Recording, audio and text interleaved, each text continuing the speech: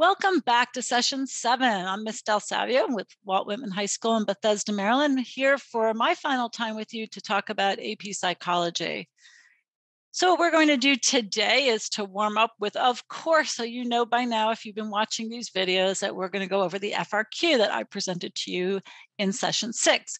We had Janice, and she was age eight. And if you hadn't had a chance to read this FRQ and respond to it, I suggest you pause the video now and give yourself time to write it and then come back and we'll go ahead and go over the three terms and how they apply to Janice. So go ahead and pause and I'll come back to you. Okay, so here's our samples uh, FRQ response. Um, this is Janice, and of course, she's at a birthday party. And we talked about theory of mind. And a child, we say, has developed a theory of mind when they can imagine how somebody else might think or feel. In this case, I applied it to the situation by saying Janice told her mom that her friend lost all of her coins to play games. She said that even though her friend didn't cry, she must have been sad. So, in that example, that shows theory of mind. The second one was schema accommodation. This happens when a person adds new information to an existing schema or creates a new one. So for Janice, she went to this birthday party and she modified her schema about birthday gifts to now include gifts to charity instead of just toys. So I've given an example of a schema accommodation there a very specific one related to Janice. And finally, pre-conventional moral reasoning, which is about involving uh, moral reasoning from an egocentric point of view. So basically determining, you know, what you're going to do based upon what reward or punishment you're going to get. In this case, we say that Janice actually obeyed the rules of the entertainment center that were given to her so that she would not get kicked out. Okay, very much a pre conventional thought process. What are we going to learn today? Okay, we're in my final unit here, and we're going to be looking at motivation, emotion, stress, and personality. So, as usual, way too much information to cover in one 50 minute session. So, remember, these presentations are here to jog your memory. Please do pause the video when asked so you can go ahead and answer the questions on your own before I go over them. And if you need further instruction on any of these topics, I really would love for you to go to AP Classroom and find a daily video that will help you out. Okay, so theories of motivation. We're going to talk about all different sorts of theories of motivation. Again, if you want to come back to this screen later to see what we cover, it's right here. We're going to start with the instinct motivation theory uh, put forth by William James and McDougall. Uh, in this case, we are motivated by inborn automated behaviors, just like instinctual behaviors. And of course, this only explains a few behaviors. It explains maybe curiosity and maternal instinct and laughter and comfort and even sex seeking behaviors.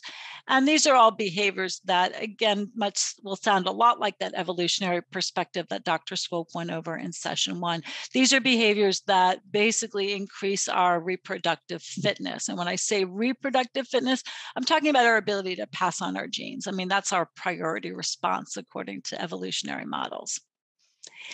We're going to move on to Clark Hull's drive reduction theory. For the drive reduction theory, this motivation is more about we're, we're motivated by biological drives like hunger and thirst, and our body's desire is to maintain homeostasis.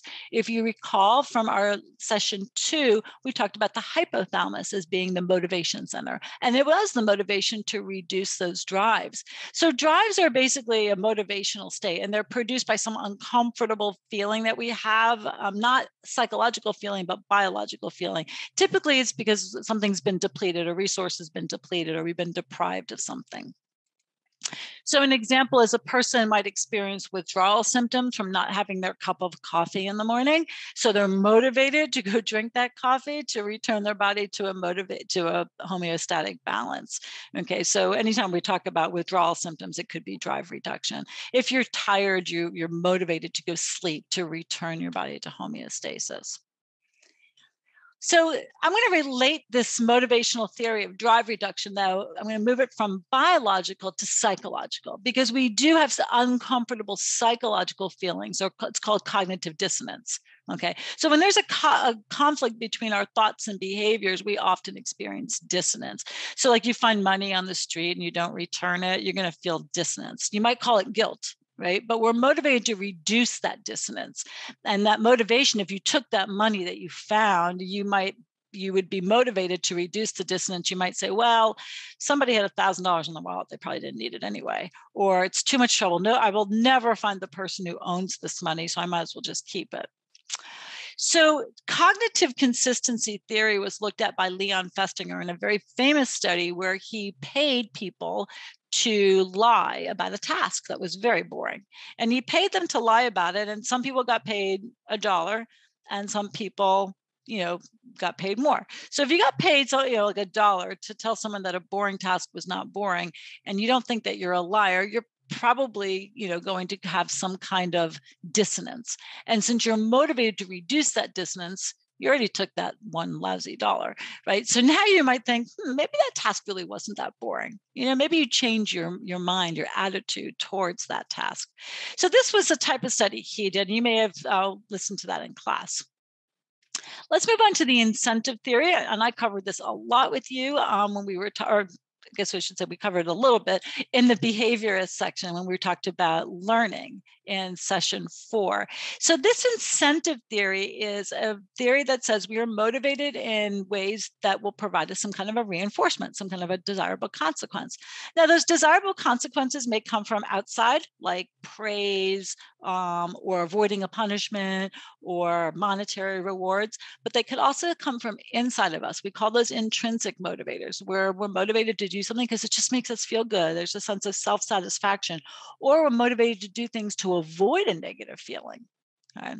So remember, positive reinforcement is the addition of a pleasurable stimulus, and negative reinforcement is the removal or avoidance of an unpleasant stimulus.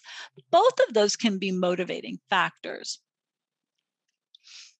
So if we think about intrinsic versus extrinsic. If a team or you're playing a sport and you have this like sense that there's going to be a reward at the end like a trophy that's extrinsic motivation right? You're motivated by the promise of an external reward.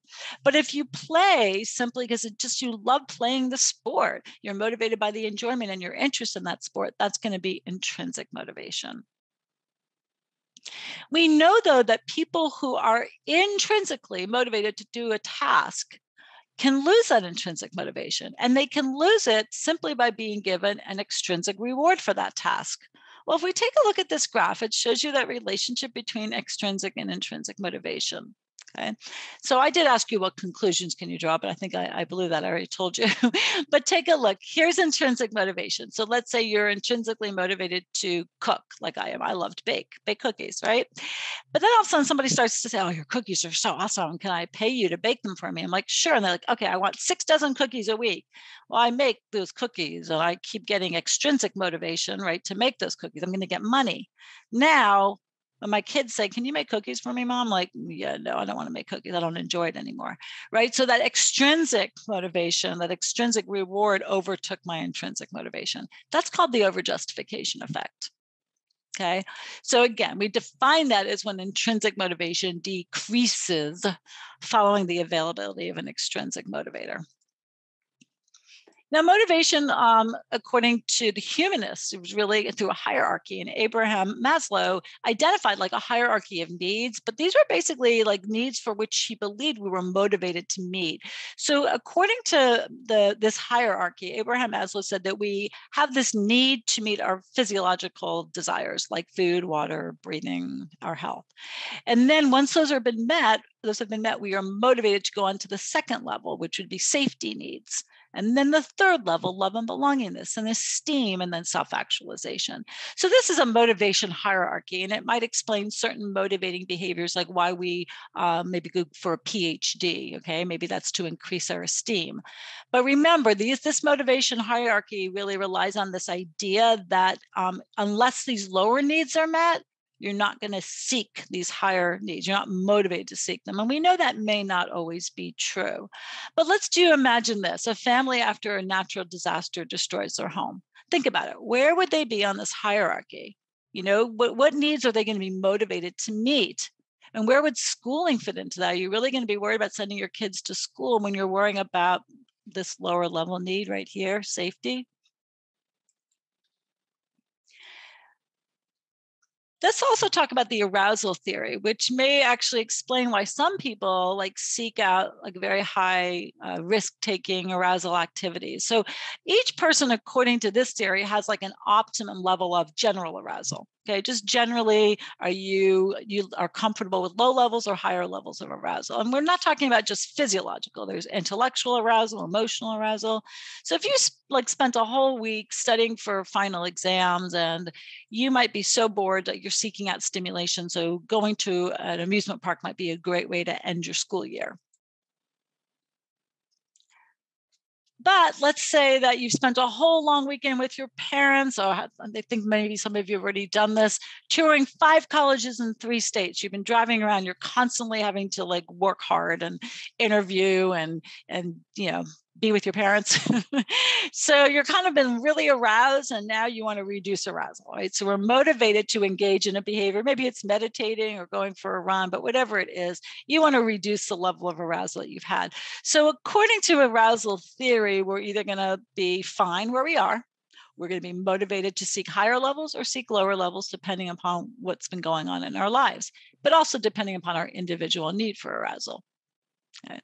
Now, Yerkes Dodson took the arousal theory and they basically looked at certain tasks that we perform. And they said that moderate levels of arousal equal optimal performance. No matter what task we have, there's like a moderate level that's good. Too little arousal, well, we're not really going to be engaged in the task. We're not going to pay a lot of attention to it. We're not going to perform well.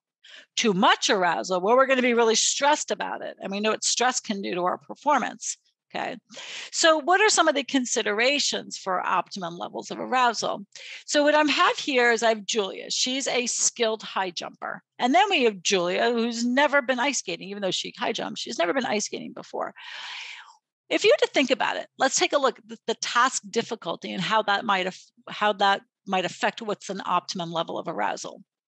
If something's really hard for you, do you want to be really aroused or do you want to be low have lower levels of arousal? So think about that for a second. And i'm going to tell you right now that according to yerkes dodson one of these levels of arousal would be optimal for julia whether it's attempting a high jump which she's really good at or skating. And in the case of yerkes dodson curve a is the best level of arousal okay for somebody who is attempting a new task Okay. So when we talk about the considerations for optimum level of arousal, we know that task difficulty is a really important consideration. Let's also take a look at motivation that we have for equity. Believe it or not, people are motivated by equity, or at least a perceived sense of equity. We want our inputs, and I'm talking here primarily, at, let's say, at work, okay? But we're taking our inputs, like the time we put into work, the effort we put into work, the loyalty we have towards our employer, personal sacrifice. And then we look at our outputs, the pay we get, bonuses, any kind of recognition we get, how loyal they are to us, the flexibility an employer has towards us, the esteem and praise we feel. We want the inputs and outputs to be roughly equal. But now let's just say we compare ourselves to others, and we, which, which of course we do. we say, do they put more in than I do and get less? Well, if that's true, I better work harder because I'm getting a lot more for what, you know, compared to them. Or do they put in the same? Does that friend that I work with put in about the same amount of work that I do, the same amount of loyalty, but they get paid more? They get more praise. Well, if that's the case, I'm going to restore equity by slacking off. So, according to equity theories, uh, equity motivation theories, we're going to compare ourselves to others and we're going to want our inputs and outputs to be roughly the same for us as they are for other people you know if the balance does shift we become demotivated right and so we either decrease our input or we just seek a change like get a new job Another theory about motivation is the expectancy value theory. And according to the expectancy value, and again, let's take this just using the English language expectancy value, right? Expectations. We expect that our effort, if we expect, I should say, that our effort will improve our performance. And we expect that our performance, that improved performance will be reinforced, mean, meaning we'll want to do it again and we value that reinforcement, we're probably going to continue that behavior. We're going to be motivated for that behavior. So let's take a look at this. You have to have all three of these conditions. Santi, is they are they motivated to put extra hours into work? Let's look. Santi works for a family-owned company where their colleague is the boss's cousin. We know how that's going to go, right? Even though Santi feels capable, Santi suspects that nothing they will do will earn them a promotion. So now let's take a look at the expectancy value theory. There is probably no expectation on Santi's part that their performance will be reinforced. In other words, they're not going to get the promotion, right? And as a result of that, according to the expectancy value theory, what will Santi likely do? And likely Santi will not work very hard, okay? So let's look at those theories of motivation. We know that um, our motivation um, has to do with instinctual behaviors. That just helps us to survive. We know that behaviorist theories, like the pure behaviorists, explain our motivation in terms of extrinsic and, ex- and intrinsic rewards. And that cognitive theories of motivation talk about us being motivated to reduce inconsistencies in our head, to achieve equity, and to engage in behaviors that we expect will provide some kind of a valued inducement to us to help us achieve our greatest potential. So these are different theories of motivation. One is very much biological, okay, um, one is more behavioral, and one is more cognitive. I'm going to practice here. Go ahead and pause. Okay, so this is talking about cognitive dissonance theory. We are motivated to reduce the internal, the psychological tensions that are produced by inconsistent thoughts. The typical example that is often given in textbooks is that somebody smokes even though they know it's bad for them. So you vape and you know it's bad for you, you're going to experience dissonance. And when you experience that dissonance, you're motivated to either to reduce it by either you're going to stop vaping or you're going to say to yourself ah, i'm only vape a little bit it's not that bad it's not going to hurt me mm, it will but but that's what you might say in order to reduce that dissonance okay go ahead and pause and this question is asking about drive reduction, drive reduction. So, usually when you hear drive reduction, it's a biological drive. In this case, we're talking about somebody who's in has a uh, addiction to heroin would need to inject heroin in order to avoid the withdrawal symptoms. That's a really good example of drive reduction. If I look at the sweet taste of chocolate, that's an extrinsic reward, right? That would be much more of a um, incentive theory of motivation. The enjoyment of a frightening movie might be arousal theory of motivation. Final one, go ahead and pause. Okay, we have Nodula. Nodula tutors other students. Okay, and he does so to be helpful, and Eric does it strictly for pay. This is a clear difference between being intrinsically motivated to do something and extrinsically motivated. And you should now know that if you started to pay Nodula to tutor other students, what would happen to Nodula's intrinsic motivation? It would go down, right? The over justification effect. So don't pay, don't pay Nodula. Okay. One more practice multiple choice question. Go ahead and pause. Okay, in this case, this is taking a look at the Yerkes Dodson, and we know that optimal performance, remember, it's some moderate level of, of arousal, but we know that moderate level of arousal is a function of two things. Not only is it a function of how difficult the task is, because if it's a difficult task, I need a lower level of arousal. Um, Eh, so it's a, a, function of both task difficulty and arousal levels. We know performance is impacted by those two things. Okay, moving on to theories of emotion. This is a lot of theories. So again, remember, I'm not trying to teach these to you. We're just going to review them. The very early emotion theories by James Lange said that if there was some kind of a stimulus that produced some kind of a physiological arousal, you'd have an emotion. So let's give an example here. There's an earthquake. Your heart pounds, okay? You feel fear. Stimulus, arousal, emotional experience. Pretty basic. But if I add cognition into the game here, like you actually think about the stimulus, okay, or in this case, think about the arousal. Why is this happening? It could change your emotional experience. And this was Schachter's two factor, also known as Schachter Singer theory. So, in other words, you have an earthquake, your heart pounds. And according to this theory, the Schachter two factor theory, you say, Have I experienced this before? What happened in the past? What's going to happen now? How are others reacting? okay. Obviously, it's a pretty quick appraisal. Okay. But you might come to a different conclusion. You may not be um, really anxious. You just might be a little bit nervous because you've been through earthquakes before and nothing really bad ever happened.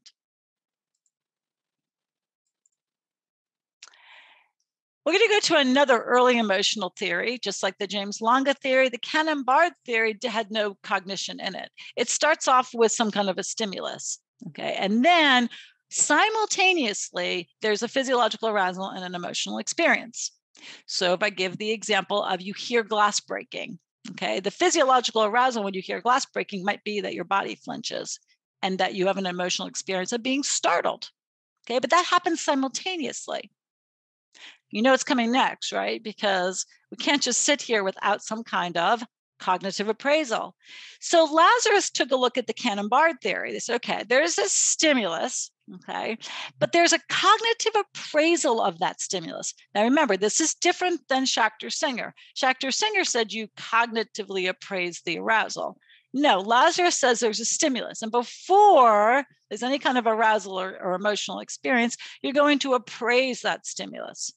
So let's go back. We have the glass breaking. Immediately, Lazarus says, You're going to take some cognition into play here. Am I hurt? Is there any danger with this glass breaking? if the answer for both of those is, Yeah, no, there's no danger, well, I'm not going to have any kind of physiological arousal, and there's really not going to be an emotional experience. Okay. So that's why you might be somebody that you hear glass breaking and you don't really think there's any danger with glass breaking. You've had no experience with that before. You just don't think much of it. But if you happen to have had a job as a waiter or a waitress, you may hear glass breaking. You're like, oh my gosh, that's a disaster that has to be cleaned up. And so you will experience something.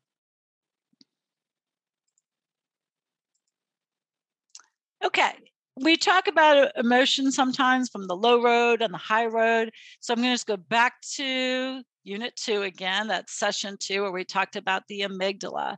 So, Zaja, um, I always pronounce the name wrong but Ledoux, they talked about stimuli, and some stimuli trigger a rapid emotional response. And it's something we don't even have a lot of control over, especially like a loud noise, you know, like especially a sound of a, sh- a gunshot or something. You can like immediately tense up. So there's certain stimuli. You're you're walking in the the forest at night, like maybe you're just walking through the forest. I don't know why you'd be walking through it at night, but let's say you are, and then you hear like footsteps behind you. You don't expect it. That might trigger something. Or you're sleeping in your bed in the middle of the night and a loud sound occurs. So we have these emotions. There's no conscious appraisal going on or, or non conscious appraisal going on, no cognitive anything. Immediate reaction. Zajonc, that's his name, Zajonc and Ledoux. Okay. So that's what we call the low road to emotion. So let's take a look at cross cultural similarities in emotional expression. You might recall Paul Ekman's studies on facial expressions and how he understood that we have certain six or seven universal, depending on your textbook, facial expressions. We know that expressing emotions um, are pretty similar across cultures. People smile when they're happy, they cry or frown when they're sad, their brow furrows when they're when they're angry. So we know that sometimes when we look at those that expression of emotions, that it can actually cause us to more strongly feel that emotion. So no matter what what culture you're in, if you cry, it could make you feel even sadder. Okay, if you smile, your your mood will improve because those facial muscle states trigger corresponding emotional feelings. But here's the thing that, you know, if you are taught not to express anything, it's not your emotions are going to be maybe a little less intense. And those could be some cross-cultural differences. But in terms of certain similarities, we do know that there are certain emotions that are um, universal what comes like i like i said what might be different is are the display rules. So there are cultural norms and those cultural norms sort of govern what you're supposed to display based upon context. So if we talk about even like in the united states when we meet people we typically although this was before covid we shake hands. Maybe now we we bump fists okay? We certainly wouldn't eh, typically in this culture bow. But there are display rules in other cultures that would show something different. Like in Japan, bowing can be that show of respect. It could be saying goodbye. It could be asking for a favor and each bow is a little bit different. So while cultural, eh, uh, there are cultural similarities in terms of facial expressions, the display rules for other cultural, other expressions of emotions are probably different between cultures. So just to recap, early emotion theories did not account for cognitive appraisal. There are certain stimuli that are kind of evolutionarily programmed to respond too quickly. It's called the low road our subjective experience, how we experience the stimulus, how we respond to it, our expressions, our culture, our cognitive appraisal of it, all come together to create the emotion. And again, emotions that are accompanied by a corresponding behavioral response, like smiling or crying, are going to be strengthened. Couple of practice multiple choice, so go ahead and pause and read. Okay, this is the Schachter two-factor theory. We have a racing of the heart, and that that cognitive appraisal of the heart racing of that physiological response is what we talked about with Schachter Singer. Okay, so it's consistent with Schachter Singer's theory. There's a stimulus, a physiological arousal, and then we appraise that arousal. In this case, he interprets Lee, his racing heart, to be he's eager to he's anticipating the excitement of being able to give his first opening statement. So go ahead and pause for kyle okay with Kyle, which of the following psychological concepts supports this idea that after smiling for 30 minutes, you know how you put that smile on your face, that he actually felt a little bit happier. That's the facial feedback hypothesis. It's a lot like, you know, when we talk about James Lange, you know, you have a physiological response to a stimulus and then the corresponding emotional expression, uh, emotional experience. I smile, I'm happy. I frown, I'm sad. Facial feedback hypothesis. One more. Let's pause. Okay, here's Montgomery. Yeah, I can just prepare my resume, arrive late for my interview. It gets rejected. Oh, whatever. It's a matter of dumb luck.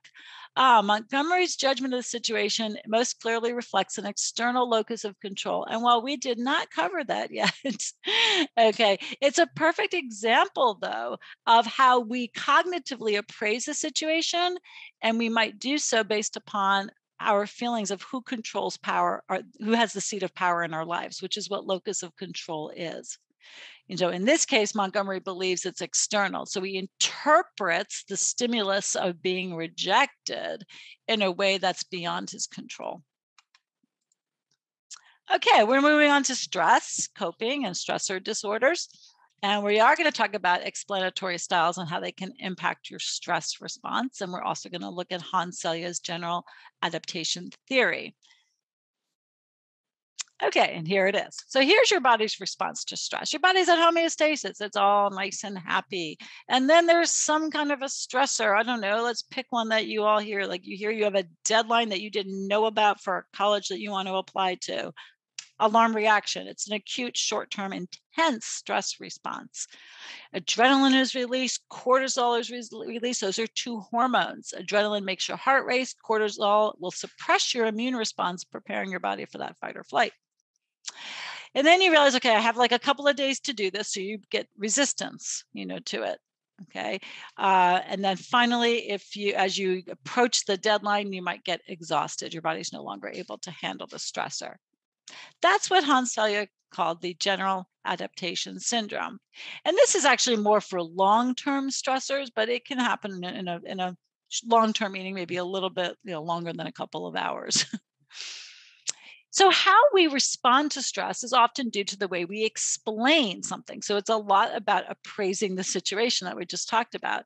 So, stress and explanatory styles. When we talk about explanatory styles, it's our tendency to offer similar explanations for different events. You have an explanatory style. So, I'm going to go to what the craze is now, right? Wordle, right? Let's say you solved today's Wordle in just two.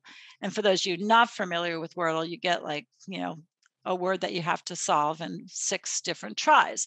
So let's say you started off with faint and you guessed the right word as tangy. You're like, oh, I'm very excited. So, to what do you offer this explanation of your this brilliant two uh, two two solution uh, to the Wordle? Uh, it depends. It depends on your explanatory style. If you have an optimistic explanatory style, you can say, yep, I can usually figure out puzzle games. I'm really good at lots of different games, and I rocked today's Wordle. That's if you're optimistic. Now, if you're pessimistic, you'd be like, yeah, well, I did it once. I'm not going to be able to do it again. I'm really not good with most word games. And but the, the reason I got it was because it was an easy word today. That's a pessimistic explanatory style. And when we talk about explanatory styles, you may hear these things about stable versus unstable, like things are going to stay the same, right? Stable, or they're going to change. Global or local. Oh, you know, I can generalize what happened today, you know, to the rest of my life. That's global. Or local, you know, it's not it's not necessarily going to be my whole life. Or it could be as a result of saying there's something about me internally versus something that's external. So uh, that's not that important, but I do want to make sure you understand that the way we handle stress and the way that some people handle it better than others is because of having a particular explanatory style. A lot more stress, as you can imagine, with the pessimistic one. Okay, I want to move to motivational conflicts. And again, not going to go through them all. You've seen these before, I hope. But if you remember, there are certain motivational conflicts. For example, what am I going to do tonight? Or which homework am I going to do first? Um, these motivational conflicts might be looked at as um, one is called approach approach like you have two really positive desirable outcomes i can go to a movie i can go to dinner either one's great very little stress but you could have to undesirable um, outcomes or choices, I might say. You have to do homework, chem or calc. You don't understand chemistry, and calculus is really frustrating. We call that an avoidance avoidance conflict, and it can cause a moderate amount of stress. So, again, explanatory styles can, can contribute to stress, but so can the actual conflict that you've encountered. I want to take, though, another motivational conflict. Those two are pretty easy to understand, but this one, approach avoidance, might not be. In this case, you have a single goal or option. It has a, both a positive and negative outcome. So you could go for a run with your friend, and the positive thing would be that you get companionship out of it, it increases your endorphins, it's good for you. But the negative could be that oh, I have so much work to do. I don't really, I'm tired and I don't really have time for this. But that's a conflict, and it can cause a lot of stress and quite a bit of stress when you come across an approach avoidance conflict. Then you have a double approach conflict. So it's more like you have two goals and options instead of one, right? The first one was like go for a run with a friend or not. I know that sounds like two, but it's really just one. but in this case, let's talk about buying a car. Which brand of car are you going to buy? You, you could buy a Tesla or a Honda. And each of them have positive and negative attributes to them. Tesla's pretty cool, it's environmentally friendly, but there's not a lot of charging stations where you live available. It's also really expensive upfront costs. And you, so you would not be able to afford to get all the options you want in the car but you could buy a Honda. Now, a Honda is great. It's affordable. You can get all the options you want, leather seats, uh, heated seats, all that good stuff. But gas prices, hmm, have you looked at them recently? They're pretty high. Also, Hondas are boring. I mean, everybody drives a Honda. And let's face it, if you're worried about the environment, there's a pretty high carbon footprint on those cars. This is what we call a double approach avoidance. And it's really the highest stress, okay, situation. I want to talk about stress and trauma disorders. So, you've heard of acute stress disorder and you've heard, I'm sure, of PTSD. What is the difference between them? Well, the, the main difference between acute stress disorder and PTSD is time. So, it is, of course, due to a stressor. There's some initial stressor event. And if 15 days has passed and you have this stressor event and you're feeling like, you know, stressed about it, and of course, we're talking about the DSM stress criteria, it's right here um, there's like nine symptoms you have to meet. but if you could be diagnosed with acute stress disorder, but if those symptoms persist for more than 30 days, you would be diagnosed with PTSD. So while the symptoms of the two disorders are the same, the difference would be the time that you've had those symptoms. The longer you've had them, if it's been more than 30 days, it's post traumatic stress disorder. So, just to recap, our body goes through a predictable stress response as identified in the general adaptation syndrome. cortisol production during stressful events suppresses your immune system. I covered that in session two. But again, anytime we have cortisol production, we're going to not, we're going to get sick if it's constantly being produced. So that's why chronic stress leads to chronic illness or leads to illness, sorry. Motivational conflicts like approach, approach, approach avoidance, avoidance, avoidance, double approach avoidance can lead to stress of varying degrees. And like I said, long term exposure and even single exposure to extreme stressors can, man, um, can actually manifest as acute stress disorder, or if they last for longer than 30 days, post traumatic stress disorder. Let's do a practice. So go ahead and pause here. Okay, so here we go. How is Nada, Nadia explaining this? Well, very pessimistically. She's saying the only reason she got into her top choice college, not because she's a good student, um, it's just because she got a 4.0 because she has like really easy teachers. She doesn't really do well on standardized tests. She got in, but she has a pessimistic explanatory style and she's likely to experience a lot of stress in life. So go ahead and pause this one here. Okay, in this case, you're talking about different conflicts. Which is going to create the greatest amount of stress? Well, again, this is um, where you have the double approach avoidance. You know, you have a paid internship in your hometown, but an unpaid summer position in your favorite European city, whatever that might be. But for Avi, it happens to be Vienna. Okay. There's good and bad about both of them. One, you get paid, but you don't, you know, you're kind of staying at home and it's boring. The other is it's unpaid. So you're going to struggle while you're there, but hey, you get to go to a really exciting European city. Okay, personality theories. Oh, we have a, just a bit of time to get through some of the personality theories.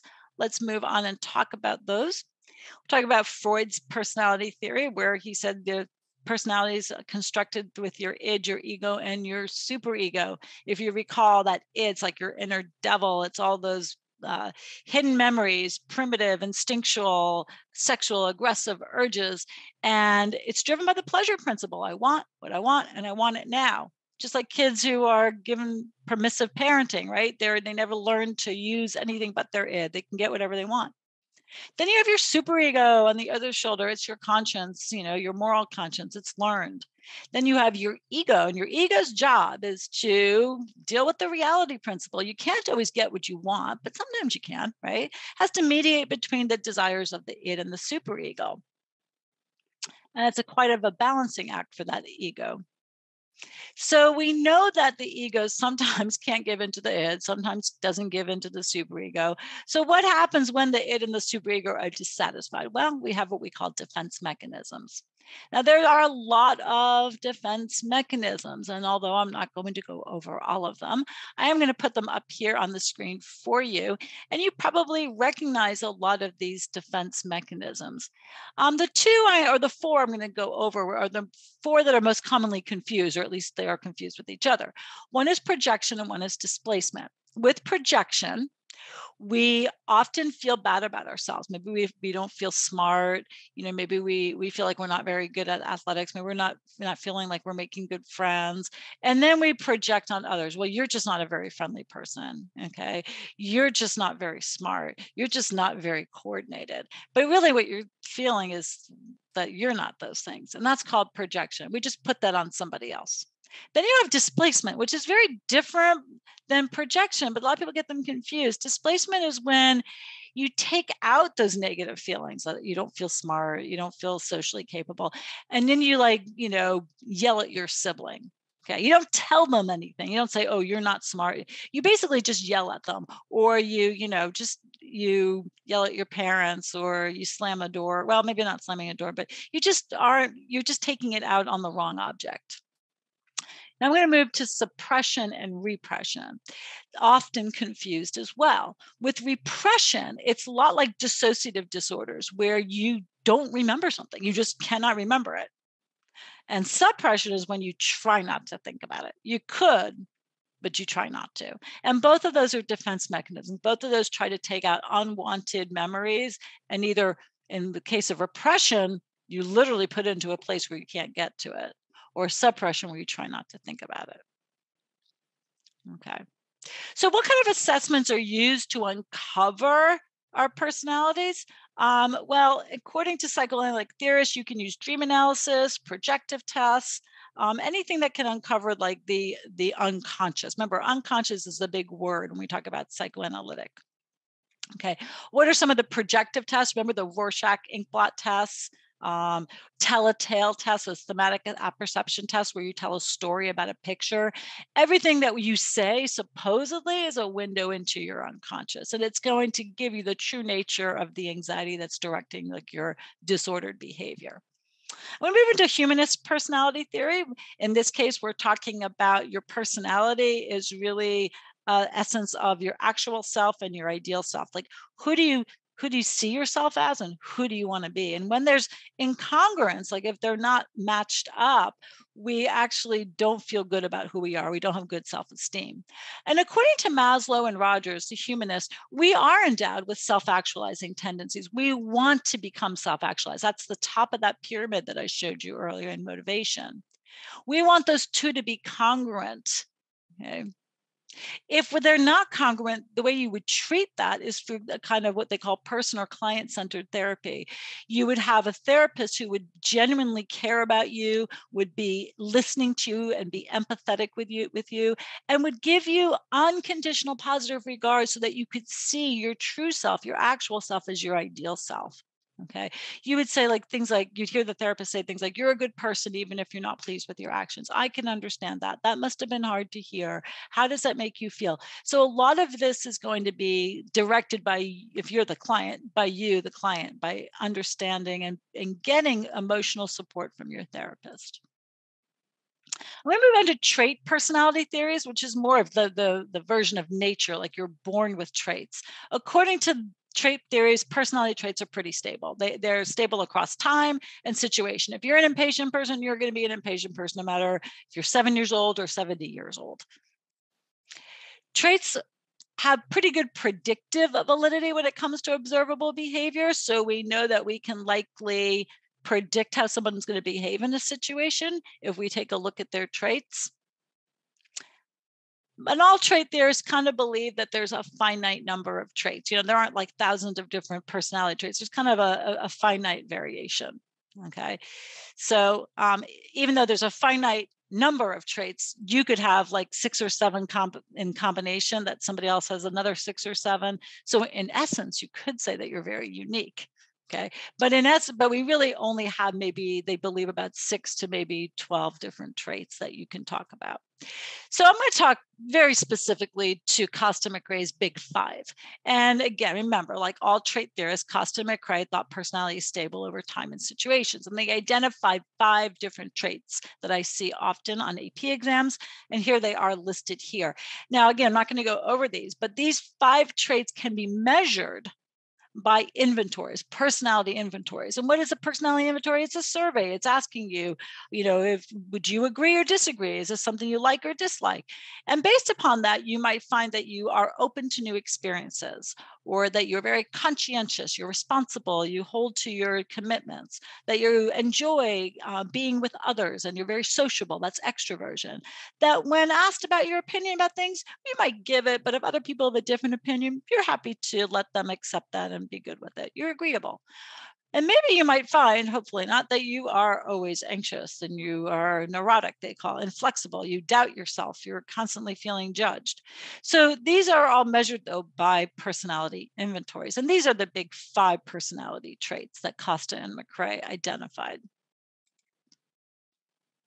Now, social cognitive theories of personality do not believe that you can take a person's traits and say and predict how people are going to behave from one situation to another. In fact, social cognitive theories say that personality will absolutely change across situations. Albert Bandura called this reciprocal determinism. And basically, what he said was this that we have a certain belief in ourselves and our competence. Like, how competent are we uh, to accomplish a task? Am I good at something? Right. And it's called efficacy. And that efficacy, how we feel about a particular task, is going to change from task to task. I might feel like I'm really good cooking, but I'm not very good at athletics right? So I might have high self efficacy towards trying out a new recipe, low self efficacy when it comes to learning a dance move. Locus of control, which I referred to earlier, which Julian Rotter talked about, was a belief about who holds the power in our life. Is it us? Are outcomes in our life determined by what we do, our decisions, our behaviors, or are they determined by others, by luck, by chance? And all of these come together to create how we're going to behave in a situation. There's our person, our learned experiences like this, our behavior that we actually engage in, and the external social context that we're in. If we're in a really supportive environment, you know, we may take more risks than we would if we're not. So to recap our personality theories, Freud's theory of personality encompasses the id, the ego, the superego. They're fully formed according to Freud by the time we're about seven years old. And you can use certain therapies like hypnosis and free association and projective testing to uncovering unconscious anxieties. Humanists believe there's a universal desire to self actualize, and therapy can be used to help individuals gain congruence. And then we have our social cognitive theories that highlight the variabilities of personality, and trait theories that say there's no variability in personality. Now, I don't have time to go over some of these multiple choice questions. I'm going to list them up here, and you can take a look at this example of projection with Jerry. And then we have Georgie, who thinks they're very capable, which you can see if you're capable, you're feeling a sense of efficacy. Okay, I am running out of time as we get to disorders and treatment, but I do want to at least show you some of the personality disorders and kind of trigger that memory in you to remind you that personality disorders are not often um, diagnosed until a person's had them for a while, which means you'd have to be past adolescence. They're long term patterns of thinking and behavior. And while we do not go through with cluster A, I do want to mention and at least look at B and C disorders, B being those dramatic, emotional people, and C being the anxious and fearful people. Cluster B disorders include all the ones I have listed here. Like I said, they are uh, characterized by very dramatic behaviors, erratic, meaning you're, not consistent in your behavior. The two people get confused mostly are borderline independent and uh, at least borderline dis- personality disorder. People forget that these are people who make frantic attempts to avoid abandonment. So when you see people who engage in suicidal behaviors, you might see a borderline personality disorder. But these disorders can also include antisocial personality, those that take advantage of others, who victimize others with no remorse by breaking rules. Cluster C disorders are the, and I had this incorrect on the last slide, I apologize. This, this is where we see the dependent personality disorder. This is where we find people who probably grew up with authoritarian parents who don't know how to make their own decisions and they're fearful of, of, of pushing other people away or disappointing them. And then you have avoidant personality people who are constantly feeling like they're being judged. So these two different clusters of personality disorders um, could be seen in different case studies. So go ahead and pause here and read through this case study.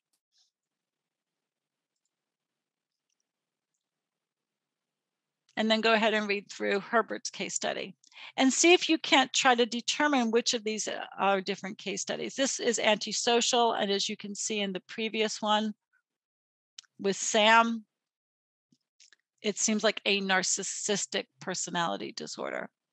Okay, where they're very much thinking that they are uh, deserving of more than others. Okay. There are different cognitive therapies associated to treating different psychological disorders, including personality disorders. Um, we have rational emotive behavioral therapy, which really confronts people's beliefs about about you know who they are, what they should do, what they must do that lead to irrational beliefs. And people who are depressed often believe that they're not fulfilling certain obligations. They have these kind of irrational thought processes or belief systems. Then you have cognitive behavioral therapies, which really try to underline, like, un- like restructure somebody's schemas. You know, how you interpret, we know how you interpret a stimulus will definitely change how you feel about it. And cognitive behavioral therapies kind of try to restructure the way you think about something so you don't feel so negative about it. Okay, these two therapies can be used to treat some of these psychological disorders. But the one that's used to treat some of the personality disorders that are particularly destructive, like borderline, is dialectical behavioral therapy. And Marsha Linehan um, developed this therapy, and it was really based on mindfulness practices, tolerating distress, like being okay with not being okay. Right? And regulating how one responds emotionally to things. So, all three of these types of therapies are used to treat different psychological disorders. And like I said, I highlighted DBT primarily because it's used to treat borderline personality disorder and suicidal behavior. So again, there are three types of or clusters of personality disorders. We went through a few of B and C. Cluster B disorders are really emotional, erratic behaviors, dramatic behaviors. Cluster C disorders are typically anxious and fearful behaviors. And again, there are different treatment methods that can be used. A lot of cognitive therapies can be used to treat this, these disorders because so many of them are because of irrational thought processes. Okay, at the end of every session, as you can see, we always present uh, an FRQ. This is the last of the FRQs I'll be presenting for you for session seven. So if you have a chance before you uh, meet with Dr. Swope in the next session, where he will review this FRQ with you, please try to write it. Um, again, we're asking you to look at the incentive theory motivation. That's that intrinsic, extrinsic, the big five personality traits. And if you see that on an FRQ, pick one of the big five traits to use. And the Schachter Singer two factor theory. So in emotion, so you're going to have to definitely use cognition, right? You're going to have to use that cognitive appraisal um, of the uh, physiological event. So I should say the physiological response these, this is the last FRQ that we're giving you, and I hope you've had a chance to go onto the AP Classroom uh, website and look at the other practice FRQs that are made available to you.